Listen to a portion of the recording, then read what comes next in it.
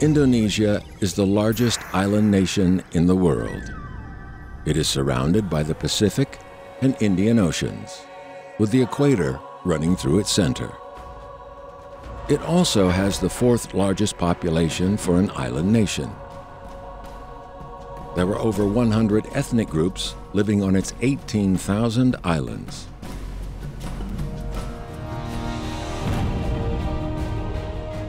It's a beautiful holiday destination and a kaleidoscope of Asian cultures in its bustling cities and tranquil countryside. It's an exotic land that is home to the largest Muslim population in the world.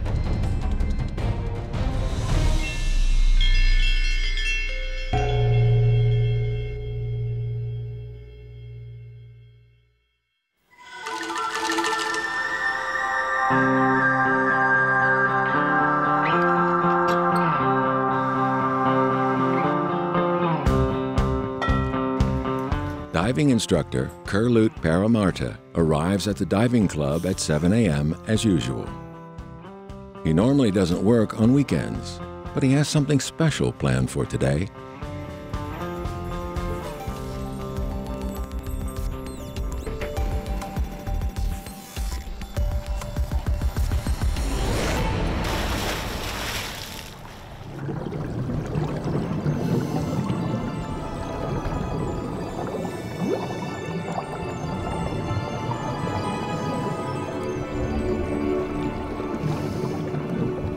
He's also an underwater hunter.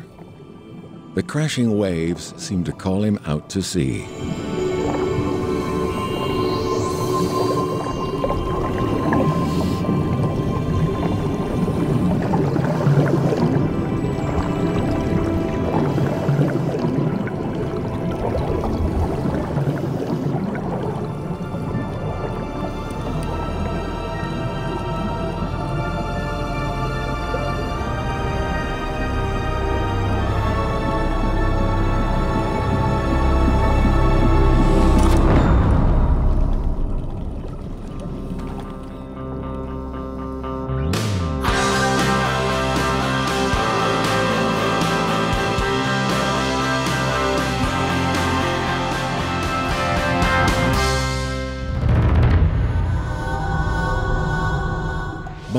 Is a pearl among the country's 18,000 islands.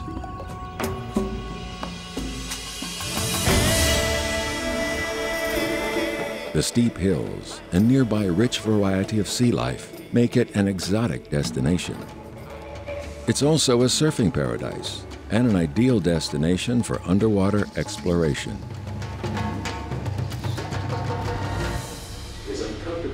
Okay, so so I'll give you two timamas, yeah? Two Chinese girls arrive at the diving club today, hoping to earn a diving license during their short vacation. This is for you.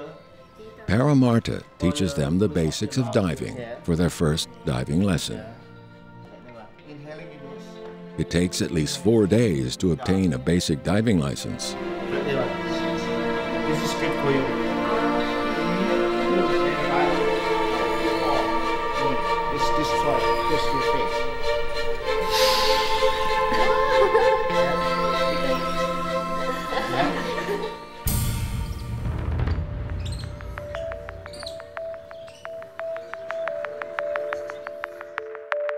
These girls have no experience, so they will first train in a swimming pool. Paramarta will teach them how to breathe and keep their balance underwater.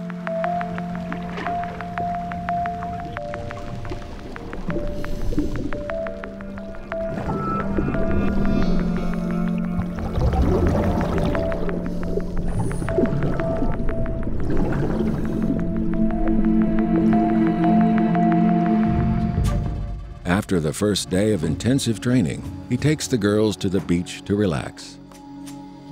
Bali is most beautiful by the sea at dusk. Tomorrow, they will dive in the sea for the first time. 我们刚开始担心，但是看到这个教练之后，然后我们不那么担心了那。身材对，倍棒，因为有他在，然后我们就感觉有个抓了一个救命稻草一样，然后不再害怕了。但是万事开头难嘛，下去以后都是这样的。挺好的感觉。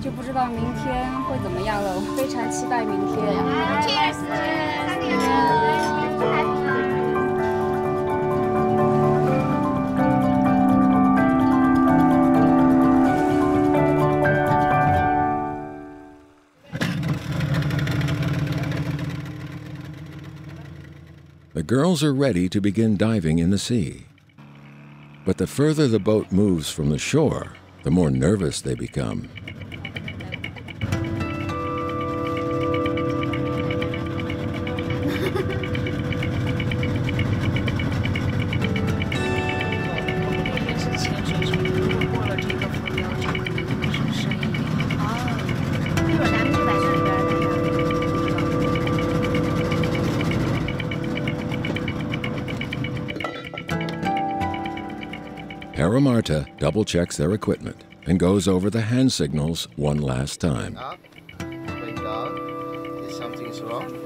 Yeah. And then looks me.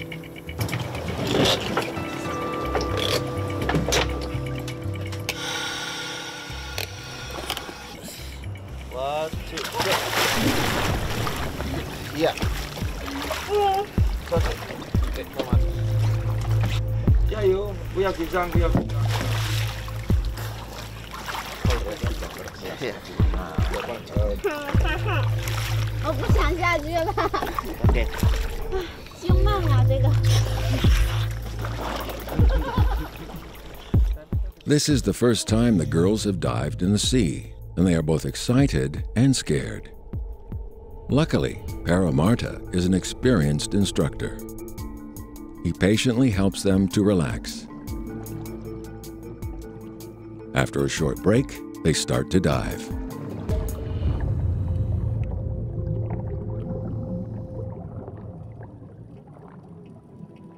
Accompanied by their instructor, the girls see the magical world under the sea for the first time. It seems like a dream. They will never forget this moment.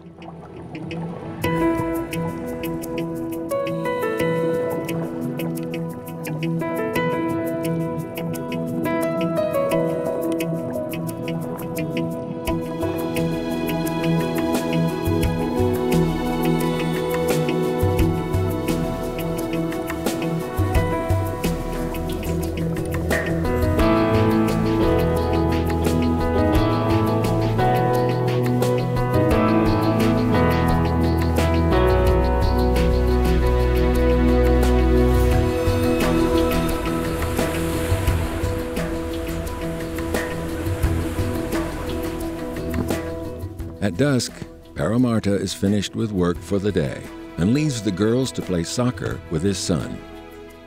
His son is proud of his father and also wants to be a diving instructor when he grows up.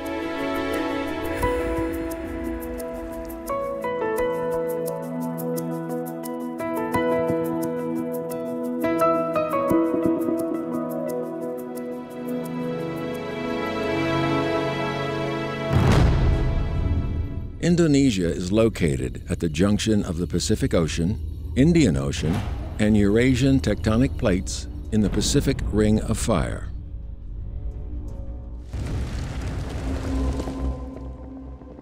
There are more than 500 known volcanoes in the area, including 177 that are active. The Tungkuban Per Ahu is a very active volcano that erupted 30 years ago, leaving volcanic ash that is rich in nutrients and acidic, making it ideal for growing coffee. Farmers living in this area began large scale coffee production many years ago and are renowned for the quality of their product.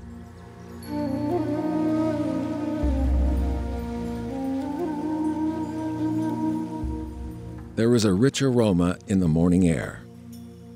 Local coffee grower Marman begins making the world's most unique type of coffee.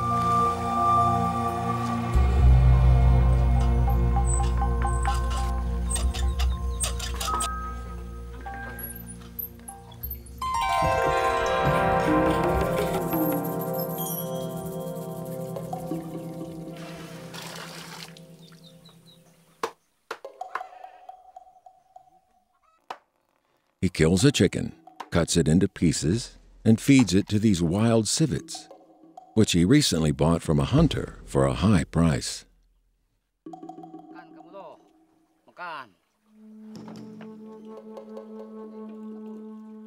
Civets live in dense shrub, in tropical rainforests, and subtropical broad-leaved evergreen forests. It's a fierce animal that is a little bigger than a domestic cat. When they eat the mature coffee beans, enzymes in their stomachs give the excreted coffee beans a special fragrance.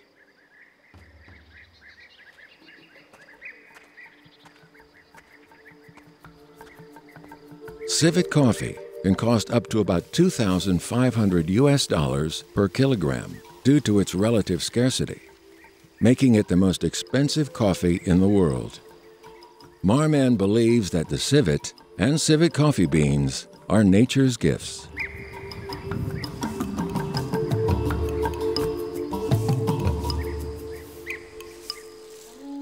In the coffee plot, he notices that ants are eating the coffee beans. Some of the bushes have even withered and died.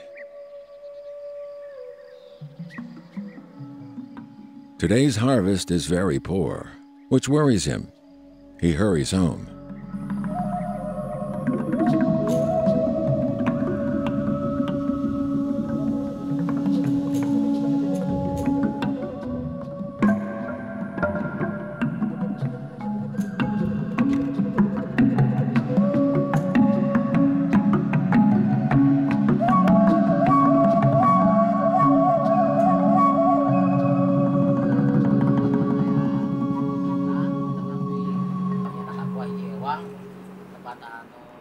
Marman calls a meeting of coffee growers to discuss ways of bringing the ant colonies under control.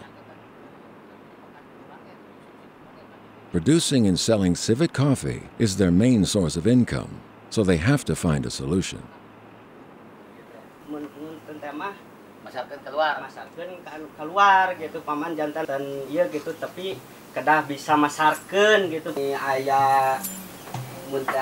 nu nang luhur orang Jawa Barat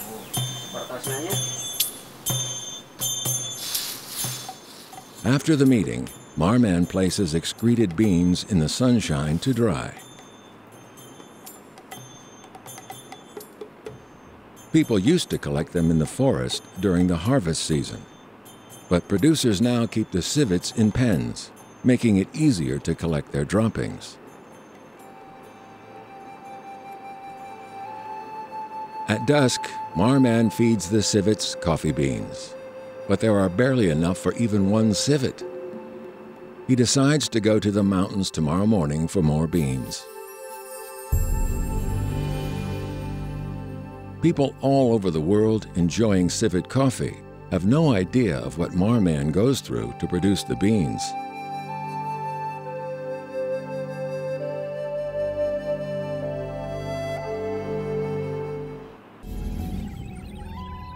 Nature has created many natural wonders on the islands of Indonesia. The island of Komodo is famous for the Komodo dragon, the world's largest lizard.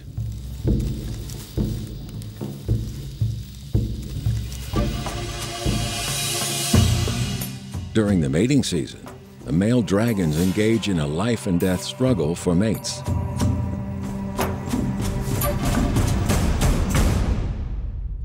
Kalimantan, the largest island, holds the country's greatest secrets and richest treasures. Countless treasure seekers have come here, looking for precious gems and gold in the rainforest.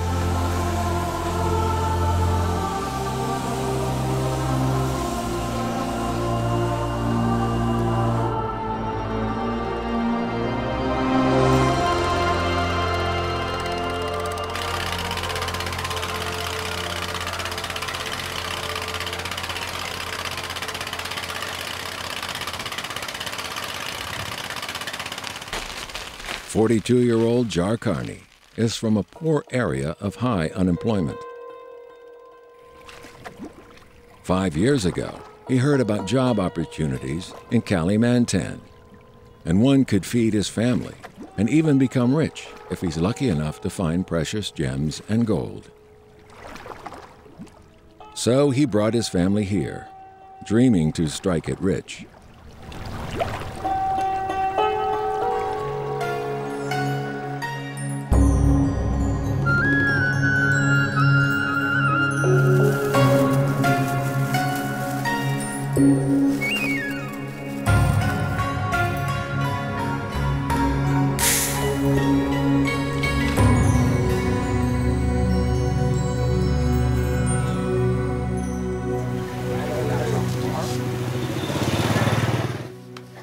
Many migrant workers live in Jar Carney's village.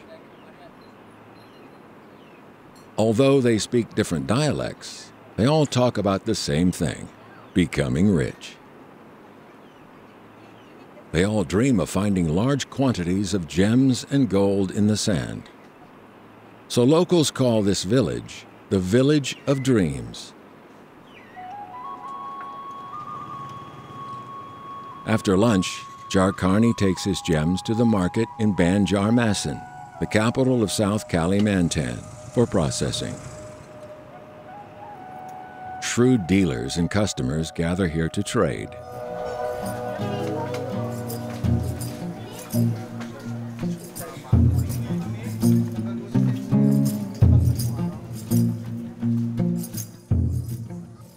Few of the customers poring over the expensive gemstones realize that they come from the Village of Dreams, just 20 kilometers away.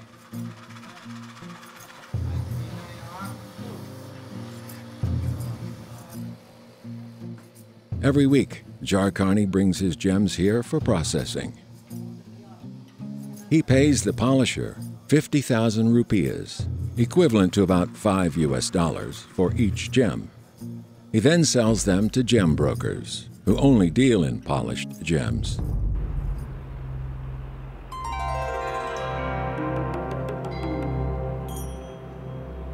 In the afternoon, a trader comes to buy gems, and Jar Carney shows him what he has to offer.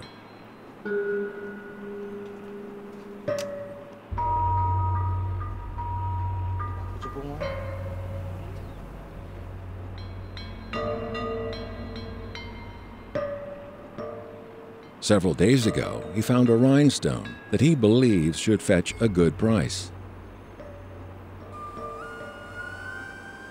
He sells all his gems for 200,000 rupees, or about 23 US dollars. Although he was expecting to get more for them, he's satisfied.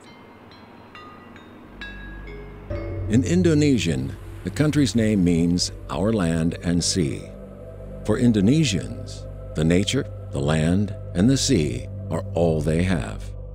Nature provides humans with many gifts, and, in return, the local people show their respect for nature. A secret and solemn ritual is about to begin on Bali.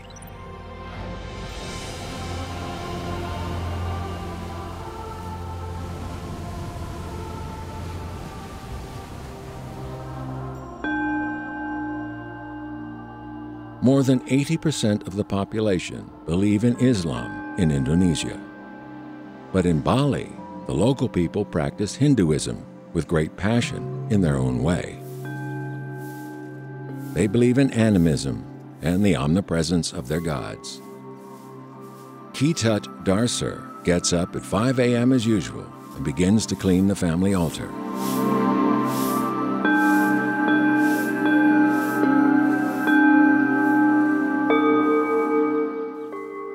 Is extremely important to the Balinese. Darsur's family relies on income from their farmland, which has been passed down from generation to generation.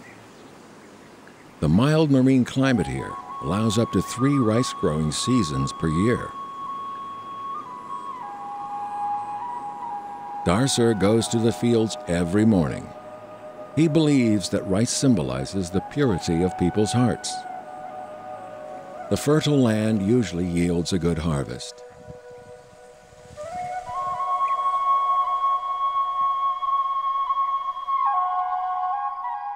Every family has a special altar dedicated to showing respect for the land.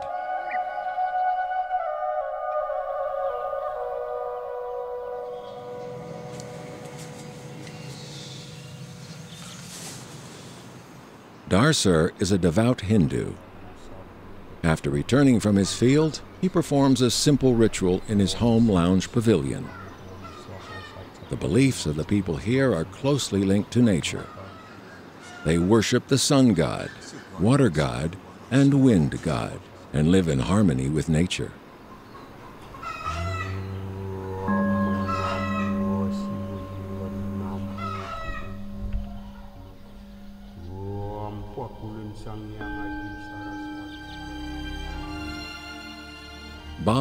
A gift from nature. The island's special scenery and climate, all thanks to the marine environment, have nurtured the local people for generations.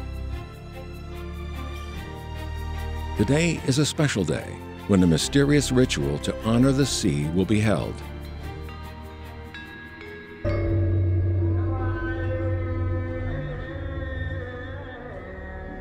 It's early in the morning, and the ritual is about to begin. Girls carefully place flowers in baskets made of palm fronds to be used as ritual offerings.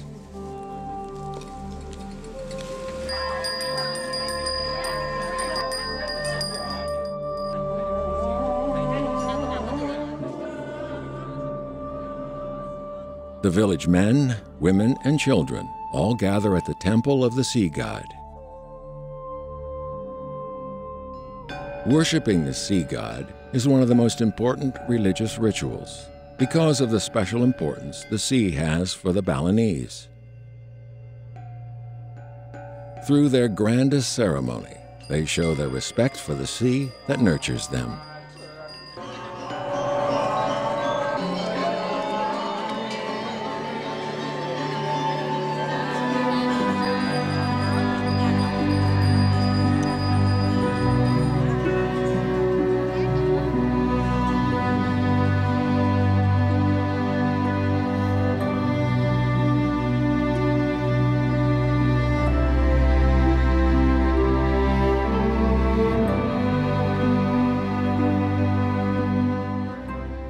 Darsur is one of the worshippers. He devoutly prays for the sea to bless him and thanks Mother Nature for giving them food and life and for fulfilling their hopes and dreams.